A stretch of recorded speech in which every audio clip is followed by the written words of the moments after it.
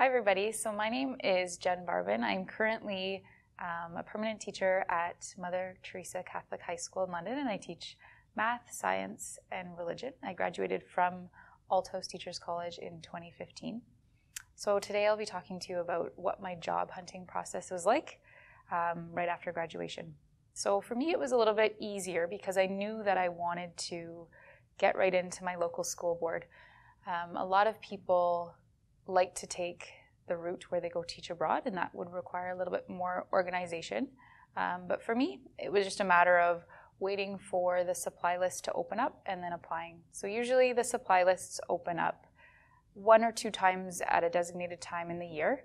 Um, I knew after I graduated in May that my school board didn't open up until July or even in the fall. So what I actually did is I called my HR office and I set up an inter- informational interview with them. So basically, I went in and I asked my questions to them. Um, and it's kind of a way of putting yourself out there and them getting to know you. Um, from that, I actually got an interview. So I was lucky enough to get an interview kind of before the supply list opened. Um, and that was in May. And then I was hired for the next upcoming year. If anybody's watching this and they're thinking, you know, I'm not from London and I want to work in London, so I might not know anybody, um, you're not really at a disadvantage. Um, it's just a matter of going out there and making connections so that you do get to know people. Um, so when you're in a school for a supply job, make sure you're going down to that principal and introducing yourself. So a little bit about my path. Um, I was hired for right after I graduated. I was hired right onto the supply list, and I supplied that full, first full year with an LTO um, in March, and then I had an LTO for the entire second year um, and then I got permanent my third year, and that was all just because of networking, um, putting myself out there, and getting involved where I could. So I don't want you guys to be discouraged about um, not being able to find a job as a teacher. I remember during my entire year, um, there was always that messaging to us that it's going to be so hard to find a job. Um, nobody hires teachers anymore. There's this huge wait list. You know, you hear that from family, friends, people outside of the field, and it can be really discouraging. Um, for me, when I heard that, I took it as a challenge. I'm a very competitive person, and I went for it, and it worked out for me.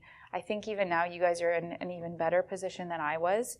Um, I'm seeing it now. Young people are getting hired very quickly. There's so many openings. I keep an eye on postings very closely, and there's always postings going out. Um, so hopefully, this is not the first time you've heard it, but there are jobs out there for teachers, and it is getting a lot better than it has been. So go for it, stick with it, and you'll be successful.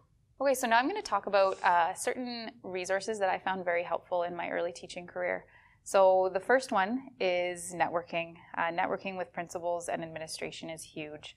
So one little tip that I always kind of use that I can pass on to you guys is when you're a supply teacher, make sure you're introducing yourself to the principal. So what I always did, first day in a new school, I would go into the principal's office and introduce myself. Um, and if there was something, um, some piece of information that I could bring up that wasn't too forced or um, obvious that I was networking, I would bring that up as well. It would just be a very short conversation. Then I made sure actually that I didn't give them my card until the second time I was at the school. So the reason why I did this was it was an excuse to see them a second time and kind of solidify who I was to them. If I did it all the first time, that might be the only time they see me and then they might forget about me. So if you wait until that second time, it's just kind of a, an extra, this is who I am, remember me, and it, it really stays with them in their mind. So you have to remember that teachers are also very helpful, and it's really important to network with various teachers that you meet.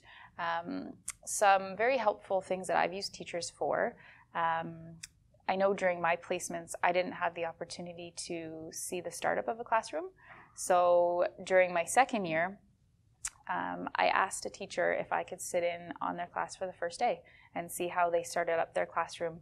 That was a very helpful resource um, that I wouldn't have gotten if I didn't have that good relationship with the teachers that I met.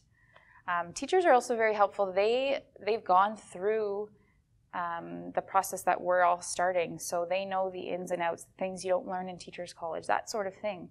Um, for example, when you start to get your first permanent lines, um, I had no idea, but in our school board, you have to send a letter to the board office saying that you are interested in increasing your amount of classes before you can actually get an extra class added to your schedule.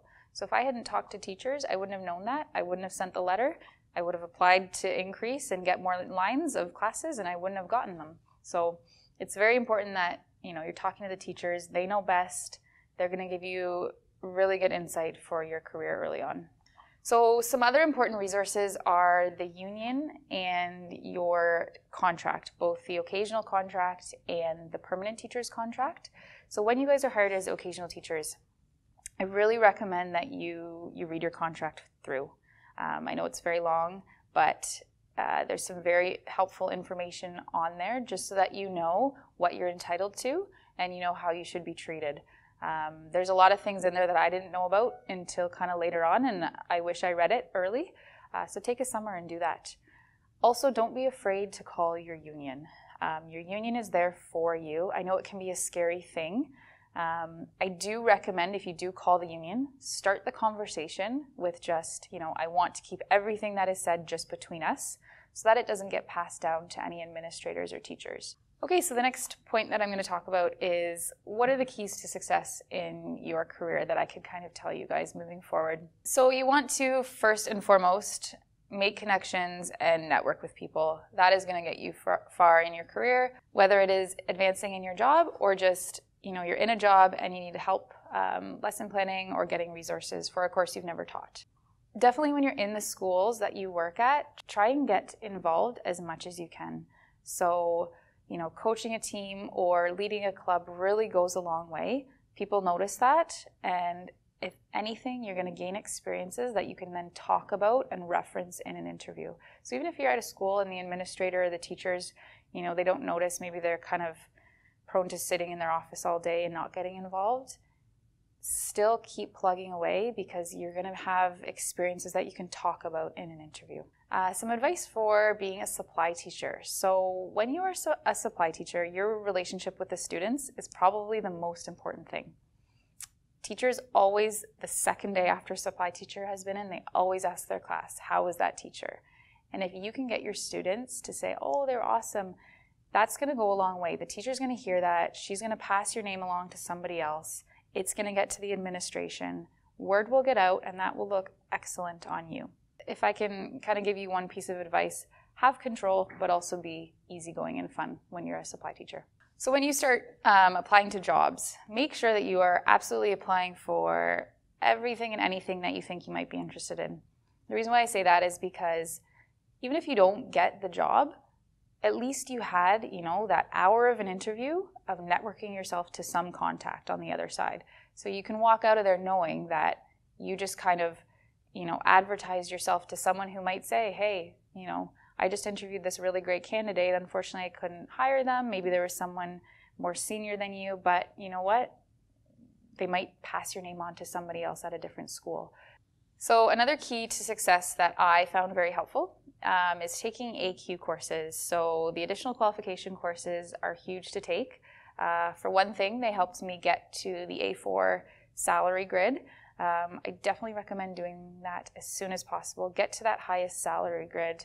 Um, I know for me, you know, as I was out of school longer and longer, I couldn't see myself wanting to go back and take these AQ courses. So I did it right away. I did it the summer after I graduated Teachers College. Um, I did it during the year that I supplied. Um, the year that you supply, you know, you're going to have a prep period and you're not going to have any prep to do. So why not sit there and do an AQ course? Also, think about taking as many AQ courses as you can um, that you are qualified to teach. Then at the end of the day, you're way more marketable. You can apply for that many more jobs. Um, also, when you get into a building, so for example, myself, when I was hired permanently and I got my first few lines, I was ecstatic, but I was also at the very bottom of the totem pole. So I knew, you know, as soon as surplus notes came out, I would probably be one of the first to go. But because I have so many teachable subjects now, um, it's very easy for a school to pick me right back up. Because I'm qualified in so many areas, um, if I got surplus from one school, chances are I would be eligible to take a posting at any other school that came up. Um, there's a lot of, I can speak for the high school, so there's a lot of AQ courses that you don't need a university background for. For example, I took a co op course, and now I can teach co op, and I didn't need to have taken any co op courses in university. So that was my experience as a, as a new teacher. Um, I hope it was helpful um, and you can take away at least one thing to help further your careers.